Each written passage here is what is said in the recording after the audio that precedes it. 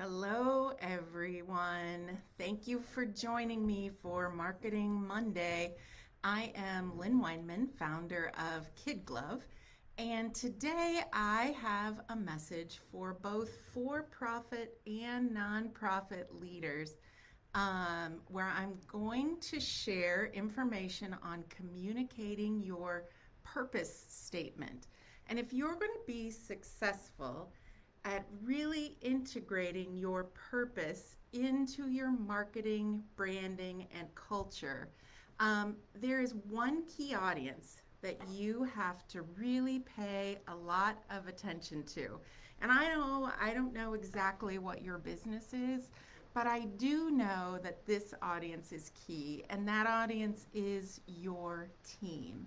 Because if your employees don't eat, sleep, and breathe your purpose, much less if they don't believe or know your purpose while they're at work, then it's going to be very, very difficult to effectively leverage your purpose statement externally and to get other audiences to really buy in and understand as well. So, I'm going to share five proven ideas to build involvement and convert your team into an army of advocates. How about that? Who doesn't want an army of advocates? So let's start with this.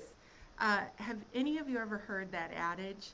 Tell them what you're going to tell them, then tell them, then tell them what you told them. Thank you, Mrs. Hatch, my high school speech teacher. Here's what I'm going to tell you. The five secrets, five proven ways are engage, brand, place, celebrate, and repeat. There we go. But don't turn off yet. Here's more. So, the first thing, uh, the first proven way to involve your employees is to engage them. Engage them in either defining or refining that purpose statement.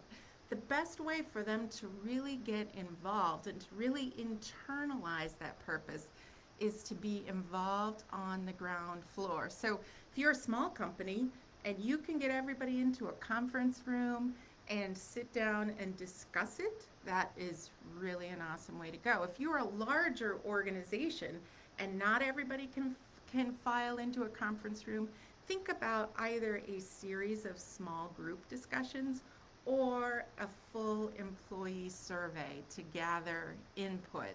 Um, you, as the leader, whether you're the marketing leader, the executive director, the president, wherever you are, you, as the leader of those conversations, is, are going to come in with some preparation, a general idea, a discussion guide, but you're going to let that group provide input to discuss, add, and refine. Now, I am a big believer on gathering group input versus group editing. At the end of the day, you want to collect the input from the different voices and you want to give that to one individual or a small group of individuals for the final editing or writing. Now, if you already have your purpose statement fully defined, but you don't have the employee engagement that you want, I would say you could still you could still participate in this step but what you're going to do is you're going to bring that group together or you're going to do your online surveys and you're going to gather input on the existing statement from a standpoint of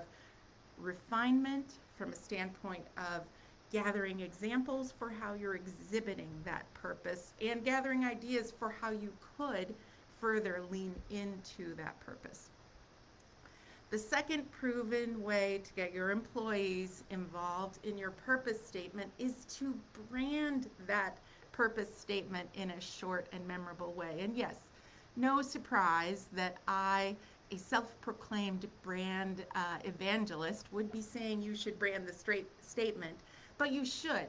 Because if your purpose statement is more than one sentence, or it's filled with jargon, or if you just simply can't uh, restate it easily or with excitement, then you will benefit from this important step that will really make it stand out. So, for example, many of you know that at Kid Glove, our purpose is to provide advertising, branding, and marketing services for organizations, businesses, and causes that make the world a better place.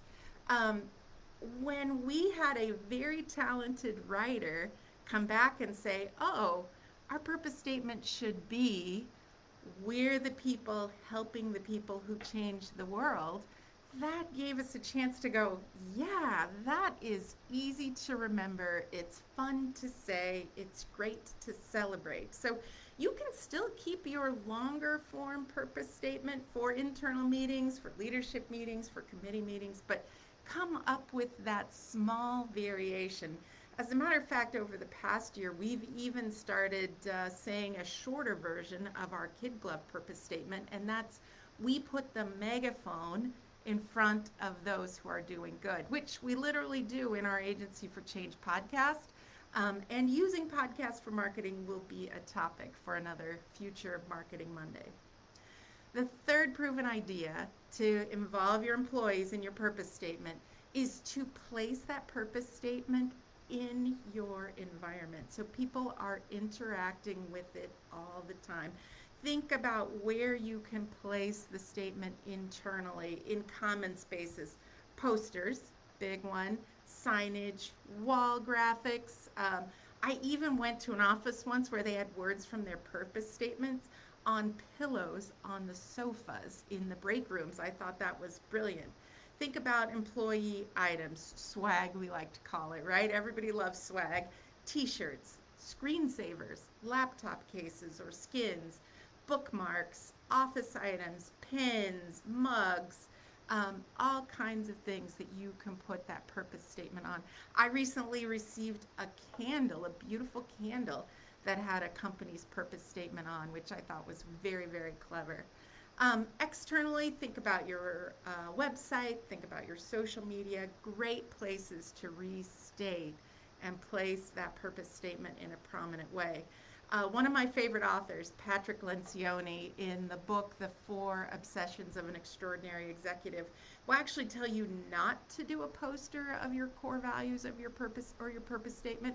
I won't take it that far. I think a poster is just fine as long as you don't stop there. Um, if you are planning to write your purpose statement, send it to an email and expect everyone to be engaged we all know that's not going to happen, right? Same thing, one poster, not going to make it happen. Place it in multiple different places throughout your organization. The fourth proven way to involve your employees in your purpose statement is to celebrate it happening. Who doesn't love a great celebration, right? And it's so powerful to catch someone in the act of performing or supporting your purpose. So look for both public opportunities and private opportunities to reinforce someone supporting your purpose. As a leader, you might even set a goal for yourself or a system for yourself in how you're going to do this. At KidGlov, uh, we like to give each other buttons, and this button says, You are changing the world. And uh, we have others that, that support our purpose and our brand, but I, as a leader, have a goal for myself on how many of these buttons I'm going to give quietly um, or sometimes in private to help reinforce people living our purpose. Once again, it goes way beyond sending a memo or an email. You really want to make that purpose um, fun. You want to make it really fun. So here's some other ideas that I've seen. I've seen people create awards programs that reinforce their purpose. I've also seen people pull it into both their hiring practices and their annual reviews. So make sure you're celebrating and observing that purpose in action. Then the last idea I'm going to share with you is repeat, right? Leveraging your purpose statement is not a one and done. You need to just make sure it's part of the fabric of your culture and top of mind for your employees at all times um, sharing that purpose in different ways, you know, so that you are optimizing for audio learners or visual learners or kinesthetic learners. We at KidGlov like to talk about the seven time rule. There's science that says people have to engage with your message seven times in order for it to be effective. So think about that. How, what are the seven ways or the seven times that you have communicated communicated your purpose statement to your employees. Here's another adage about the time that you as a leader are getting sick of that purpose statement, that is about the time that your employees are really internalizing it. So keep going, keep sharing, keep finding new and interesting ways um, so that you can leverage and build that purpose statement internally. So, as I said, here's a reminder of what we just talked about the five key steps to involving your employees in your purpose statement engage, brand, place, celebrate, and repeat. Engage your employees, let them help you define and refine it, brand it so it's easy to remember, catchy, and fun to communicate. Place it throughout your organization in a variety of different ways. Celebrate and observe when it's in action, and then keep repeating it. Keep making it part of the fabric of who you are. So, thank you, everyone. Thank you for joining me today for Marketing Monday. If you found this to be helpful, this content will be posted on kidglov.com as a blog post later this week, and the video will be reposted on all of our social media channels. And if you are looking for additional marketing resources, including helpful blog posts, case studies, podcast episodes from changemakers and thought leaders, check out kidglov.com and go to the expertise section, and you can find content that has been specifically curated for the type of organization you are. And particularly if you are a purpose driven business, nonprofit organization, financial or healthcare organization, or if you're leading a community wellness or health uh, initiative, you'll find some good information there. So check back every week about this time for more Marketing Monday segments and have a great day. Thanks, everyone.